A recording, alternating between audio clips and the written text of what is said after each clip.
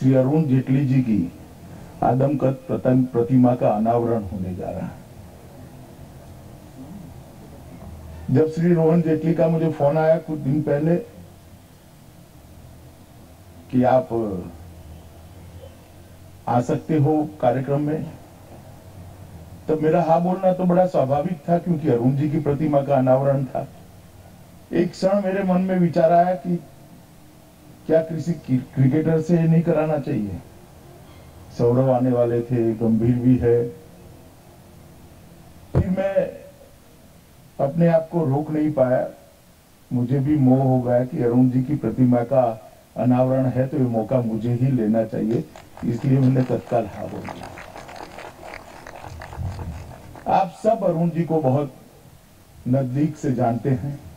ऐसे ही लोग ये छोटे से फ़ंक्शन में उपस्थित हैं। जिनका कभी न कभी अरुण जी से किसी न किसी प्रकार से संपर्क रहा, गहरा संबंध रहा। एक बहुमुखी प्रतिभा का धनी ये व्यक्ति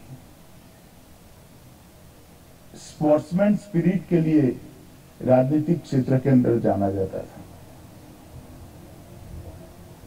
और कई सारे क्षेत्रों के अंदर एक साथ योगदान करना अपने आप को पीछे रखकर कामों को आगे बढ़ाते रहना और कभी भी प्रसिद्धि की परवाह करे बगैर काम को अंजाम तक ले देना की एकमात्र उद्देश्य थे अहर्निश परिश्रम करना अरुण जी की खासियत है। राजनीतिक क्षेत्र के अंदर तो कॉलेज काल से ही जब देश के लोकतंत्र पर बहुत गहरा कुठाराघात हुआ। श्रीमती गांधी ने आपातकाल घोषित कर दिया, इमरजेंसी लाद दी। तब युवा अवस्था में दिल्ली यूनिवर्सिटी के प्रेसिडेंट के नाते 19 साल तक जेल में 19 महीने तक जेल में रहकर पूरा पुरजोर विरोध ये लोकतंत्र पर जो हमला हुआ, इसका किया उन्होंने। और वहीं से जो विद्यार्थी परिषद के कार्य, कार्यकर्ता नाते उनका राजनीतिक जीवन शुरू हुआ। देश के वित्त मंत्री बने कॉमर्स मिनिस्टर बने, कानून मंत्री भी रहे, रक्षा मंत्री भी रहे। जहाँ जहाँ पार्टी ने और नेतृत्व ने उनको ज़िम्मेदारी दी, वो बहुत बखूबी उन्होंने निभाई। मैं गुजरात से आता हूँ। गुजरात से अरुण जी का बहुत गहरा रिश्ता रहा। सालों तक उन्होंने गुजरात का प्रतिनिधित्व संसद के अंदर किया। जब भी गुजरात में चुनाव होते थे, महीना, डेढ़ महीना अरुण जी वहाँ रहना निरंतर करते थे। और गुजरात के चुनाव की रणनीति को बनाने के लिए, गुजरात की टीम को तैयार करने के लिए, हमेशा सबको साथ में लेकर चलने का उनका जो स्वभाव था, इससे गुजरात बीजेपी को तो बहुत फ़ायदा होता था। राजनीतिक क्षेत्र में जब विपक्ष में भी रहे, विपक्ष के नेता रहे, और वो दस साल जो सत्ता में थे, उनको नींद न दे, लेने दे, इस प्रकार के विपक्ष के नेता तक नेता का कर्तृत्व उन्होंने निभाया। कोई भी चीज़ हो, अपनी तर्कबद्ध दलीलों के साथ सदन के पटल पर रखना, सदन की गरिमा को जरा भी नीचे गिराए बगैर आक्रामकता से बात को रखना और शालीनता को भी बनाए रखना मैं मानता हूँ बड़ी कला है सिद्ध उनको आज भी उनके कोई भी भाषण को उठा लीजिए। कोई ये नहीं कह सकता कि उन्होंने सदन की गरिमा को कभी ही भी, कहीं भी किसी की एग्रेशन के मौके पर भी तोड़ा है। परंतु जनता की जो आवाज़ था, आवाज़ थी जो गलत था उसको मुखर कर रखने में भी एक इंच भी पीछे नहीं हटे।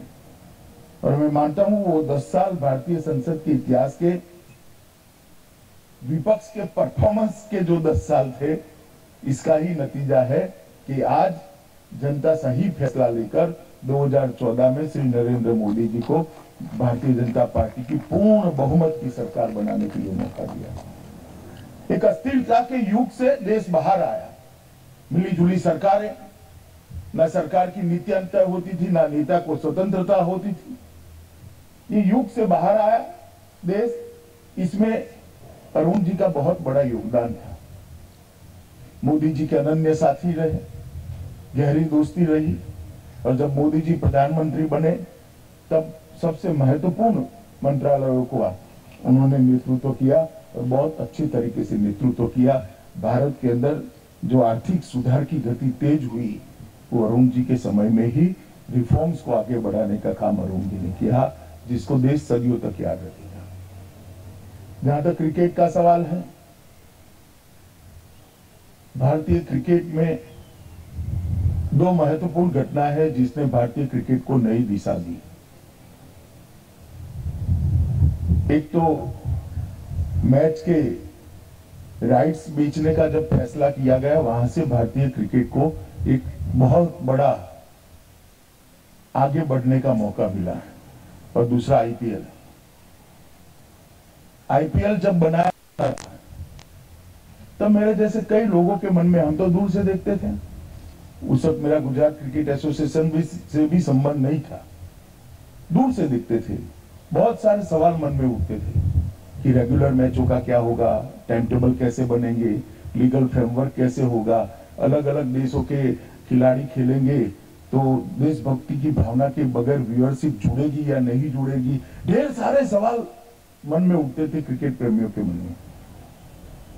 और सबसे बड़ा सवाल था इसका लीगल खाका बनाना। इसका एक सुचारू रूप से सालों तक चल सके, विवाद के बगैर चल सके, इस प्रकार की एक इंफ्रास्ट्रक्चर बनाना। मैं अरुण जी से चिंता से कई बार बात करता था मगर हर सवाल का सटीक जवाब उनके मन में होता था। एक क्षण भी रुके बगैर तुरंत कहते, नहीं नहीं, अमित, ऐसा नहीं होगा, ऐसा होगा।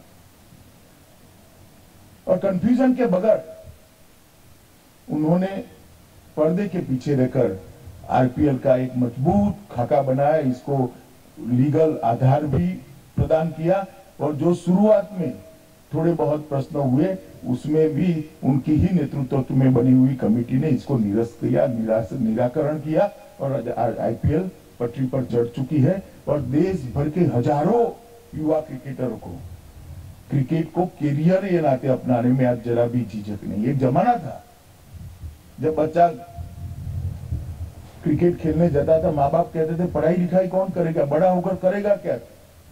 तो क्रिकेट खेलना कोई कैरियर नहीं होती थी।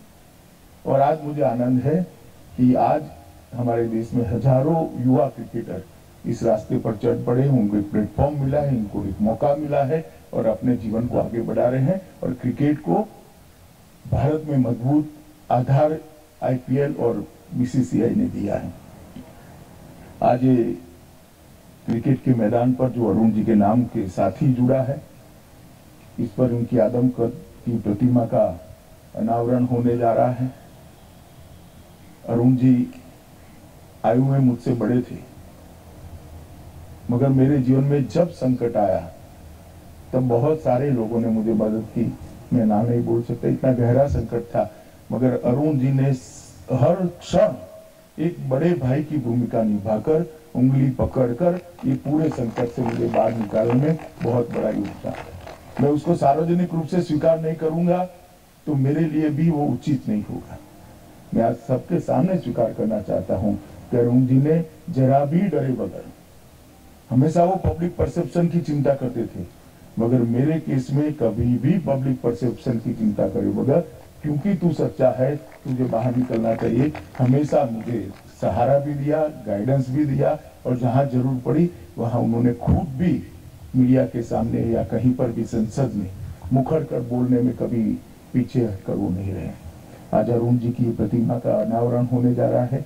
मैं मानता हूँ, क्रिकेट में योगदान दो तरह के लोगों का होता है। एक तो खुद खेलते हैं और देश के लिए अपना पूरा समय और जीवन देते हैं। वो तो सबसे बड़े कंट्रीब्यूटर होते ही है। मगर खेलने का जो माहौल बनाते हैं, खेलने की जो व्यवस्था करते हैं, खेलने के इंफ्रास्ट्रक्चर खड़े करते हैं और खेल को सुचारू रूप से चलाने में जो मदद करते हैं उनका भी योगदान बहुत महत्वपूर्ण है। यहाँ पर यादव प्रतिमा खेल का माहौल बनाने के लिए, खेल को लोकप्रिय बनाने के लिए और खेल को सुचारू रूप से चलाने के लिए जो लोग योगदान करते हैं और वो और सभी खिलाड़ियों के लिए हमेशा प्रेरणा का स्रोत रहेगी। मैं बधाई देना चाहूँगा रोहन जेटली को कि अध्यक्ष बनते ही उन्होंने फैसला दिया और आज ये प्रतिमा यहाँ पर लगी है। कुछ समय इसका अनावरण होगा। मैं श्री जेटली जी के परिवार और दिल्ली डिस्ट्रिक्ट क्रिकेट एसोसिएशन के सभी सदस्यों को मन पूर्वक साधुवाद देकर मेरी बात को समाप्त करता हूँ। भारत माता की जय।